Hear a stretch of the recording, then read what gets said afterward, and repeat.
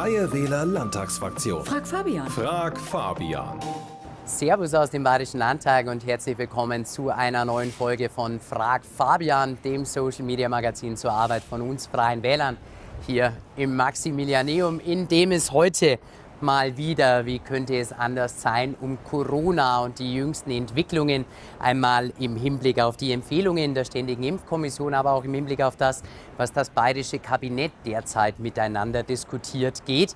Uns haben eine ganze Reihe von Zuschriften aus eurer Mitte dazu erreicht. Ich greife stellvertretend diejenige von der Nora aus Würzburg heraus. Die Nora hat mir geschrieben, Gibt es jetzt wirklich nur noch Freiheit für Geimpfte? Müssen auch Kinder geimpft werden? Und wie steht Ihr Freien Wähler zur Empfehlung in Sachen Inzidenzzahl? Ja, liebe Nora, eine ganze Reihe von Fragen, zu denen ich sehr gerne Stellung nehme. Ich fange vielleicht mit der jüngsten Empfehlung des RKI an im Hinblick auf die Bedeutung der Inzidenzzahl. Deshalb, weil das in den letzten Wochen und Monaten so ein bisschen mein Herzensthema, meine Herzensangelegenheit gewesen ist und weil es mich natürlich sehr freut, wenn jetzt das RKI seitens seiner wissenschaftlichen Expertise die Position, die wir Freien Wähler da schon seit über einem Jahr vertreten, auch äh, wissenschaftlich unterfüttert und bestätigt. Worum geht's? Es geht um die Frage, ob es denn sinnvoll ist, jeden Morgen beim Aufschlagen der Zeitung wie das Kaninchen vor der Schlange auf die Inzidenzzahl zu starren und alle Corona-Maßnahmen in Bayern einzig an dieser alleinigen mathematischen Kennziffer festzumachen.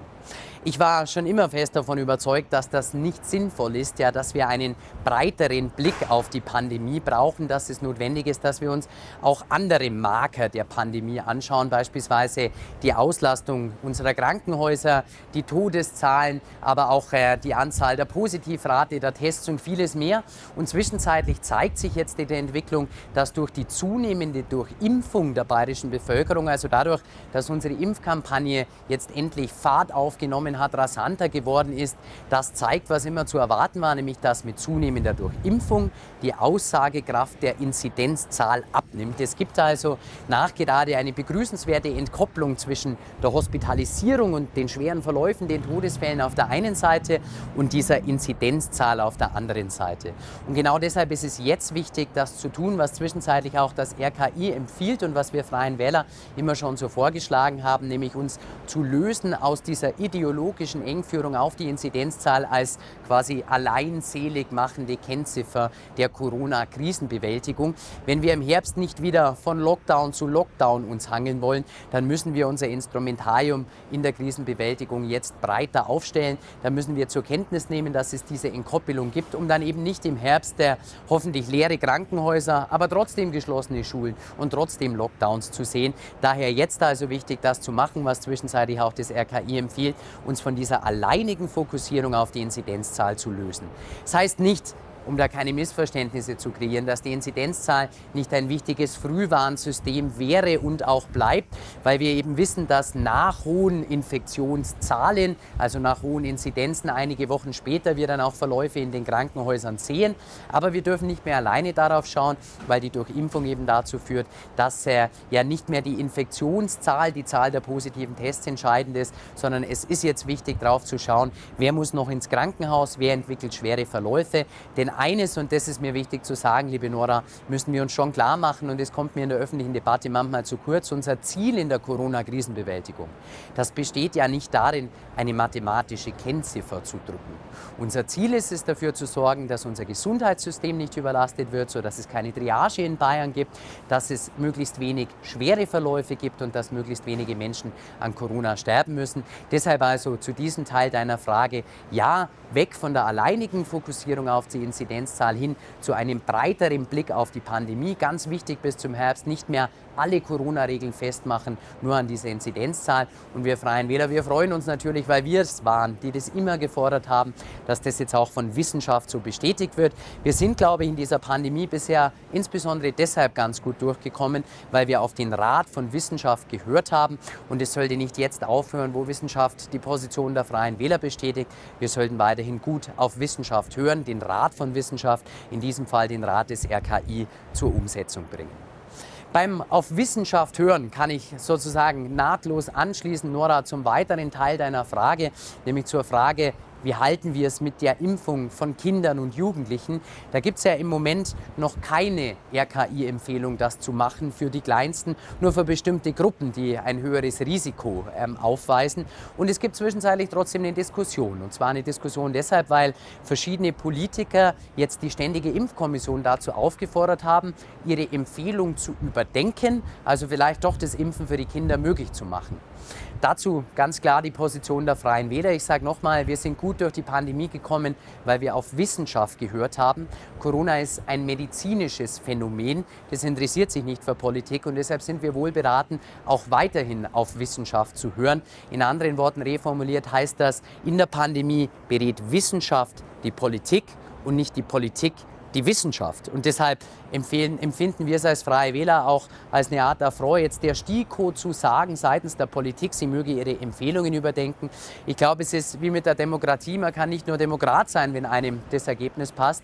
So ist es auch mit der Wissenschaft. Man kann nicht nur auf Wissenschaft hören, man kann nicht nur der Expertise von Wissenschaft vertrauen, wenn einem das Ergebnis passt. Ich glaube, wir sollten so ein sparen, auf diejenigen, die als Wissenschaftler fachliche Empfehlungen geben, loszugehen oder denen zu sagen, was sie zu empfehlen haben, sondern wir sollten Wissenschaft, ihre Expertise betreiben lassen und Politik daran orientieren. Deshalb Kinderimpfung aus Sicht von uns Freien Wählern auf die Wissenschaft hören. Und im Moment gibt es dafür noch keine Empfehlung der STIKO, nur für einzelne Gruppen mit besonders hohem Risiko. Wenn sich das ändert, kann Politik darüber reden. Solange Wissenschaft aber eine Meinung hat, gilt es nicht, die Meinung von Wissenschaft in Frage zu stellen, die fachlich basiert ist, die ja, wissenschaftsbasiert ist. Darauf zu hören, war immer unser großer Trumpf in der Pandemie. Und jetzt, liebe Laura, noch zum letzten Teil deiner Frage, etwas ketzerisch von dir formuliert, aber ich glaube, es war ein Zitat unseres Ministerpräsidenten Ministerpräsidenten, Freiheit nur für die Geimpften. Das halte ich ehrlicherweise und wir Freien Wähler für ein sehr problematisches Zitat. Und zwar deshalb, weil ich glaube, dass in einer liberalen Demokratie jeder selber über seinen Körper entscheiden muss und dass es in einer liberalen Demokratie notwendig ist, die Menschen vom Impfen zu überzeugen. Ich persönlich bin überzeugt bin fest davon überzeugt, dass Impfen unser kollektives Tor zur Freiheit, zur Normalität ist und dass es deshalb gut ist, wenn sich so viele wie möglich impfen lassen, dass im Herbst nicht der ganze Corona-Wahnsinn wieder von vorne losgeht, sondern endlich wieder Freiheit und Normalität herrscht. Wir hoffentlich dann, wenn jeder ein Impfangebot hatte und diese kollektive Schutzverantwortung des Staates dann in die Entscheidungsfreiheit jedes Einzelnen übergeht, wieder alle Corona-Maßnahmen rückgängig machen können, wieder unser altes Leben, wie man das immer formuliert, zurückbekommen. Deshalb ja, ich bin überzeugt, ich bin klar fürs Impfen, aber ich glaube, wir dürfen das nicht mit einem Zwang versehen, weil das Wasser auf die Mühlen all dieser Corona-Leugner, all dieser Querdenker ist. Wir müssen Überzeugungsarbeit leisten und nicht einen Impfdruck aufbauen. Und vor allen Dingen dürfen wir auch nicht sagen, Freiheit nur für Geimpfte, weil es ja doch eine ganze Reihe von Menschen gibt, die sich beispielsweise aus gesundheitlichen Gründen gar nicht impfen lassen können, gar nicht impfen lassen dürfen. Und da würde ich es für ein fatales Signal halten, denen jetzt quasi zu sagen, Pech gehabt, dann gibt es für euch eben keine Freiheit. Ich glaube, diese Kopplung, die darf es auf keinen Fall geben.